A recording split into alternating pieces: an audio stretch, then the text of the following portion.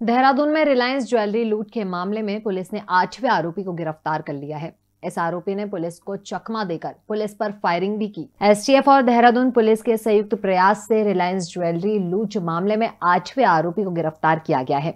विक्रम कुशवाहा नाम का यह आरोपी लूट की घटना के दौरान शोरूम के बाहर पिस्तल के साथ गाड़ी में मौजूद था। पुलिस ने इस आरोपी को उत्तर प्रदेश के पीलीभीत से गिरफ़्तार किया। इसका काम लूट के दौरान यदि मामला बिगड़ता हुआ दिखे तो बाकी लुटेरों को सचेत और रेस्क्यू करना था। जब पुलिस ने इस आरोपी से पूछताछ की तो पता चला कि उसके पास मौजूद पिस्तल को उसने प्रेमनगर के जंगल में छुपाया है। हथियार को बरामद करने के लिए जब पुलिस आरोपी के साथ जंगल में पहुँची तो छुपाई गई लोडेड पिस्तौल को झाड़ियों से निकालकर आरोपी ने पुलिस पर फायरिंग कर दी। बदले में पुलिस ने भी सेल्फ डिफेंस में आरोपी पर फायर कर उसके पैर में गोली मारी। फ़िलहाल आरोपी का इलाज प्रेम नगर के अस्पताल में किया जा रहा है।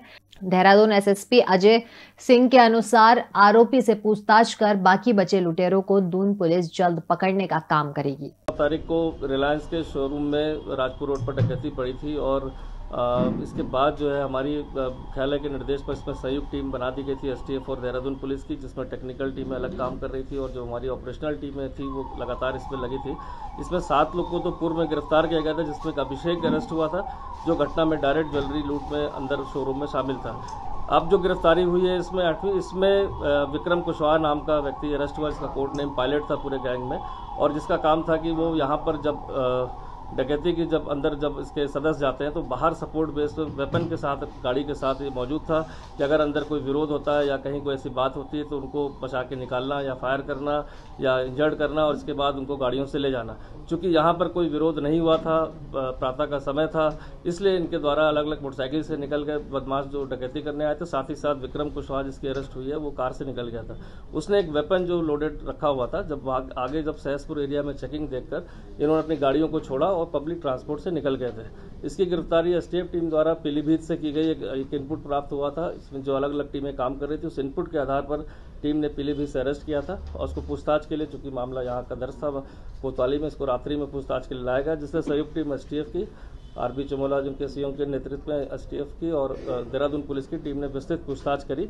विस्तृत पूछताछ के बाद अभियुक्त द्वारा बताया गया कि जो गाड़ी जहाँ पर उसने छोड़ी थी, उसके पास के जंगलों में इसने अपने, जो वेपन था 7.62 ऑटोमेटिक पिस्टल है, उसको छुपा दिया है। इसके बाद, और जो कपड़े आदि की बात बताई थी, चेंज किए गए थे, उसके तो उन साक्ष्यों को कलेक्ट करने के लिए टीम देर रात्रि जो है, छह सदस्यीय टीम बनी थी, इसमें देर रात्रि वो जंगल में वहाँ कॉम्बिंग सर्चिंग में गई, लेकिन अभियुक्त इतने शातिर है कि उसके द्वारा उसे पता था कि उसने लोडेड वेपन छुपा रखा है तो उसने पहले अलग अलग स्थान दिखाए और टॉर्च की रोशनी में जब उस स्थानों को सर्च करा गया झाड़ियों को तो उसने पास की झाड़ी में ही उस वेपन को जो छुपाया था लोडेड वहाँ से निकाल पुलिस पार्टी पर फायर किया। लेकिन पुलिस पार्टी के फायर करने के उपरांत तत्काल रिएक्शन में उससे कि कहीं और कोई फायर ना कर पाए, भागे नहीं, अंधेरे का फ़ायदा उठाकर तो उसके पैर में एक गोली लगी, जिसको अस्पताल में एडमिट किया गया अब उसको ठीक होने के उपरांत इसमें आगे की पूछताछ की जाएगी, बाकी उसको न्यायिक जो भी प्रक्रिया उसको फॉलो करके उसका रिमांड लिया जाएगा।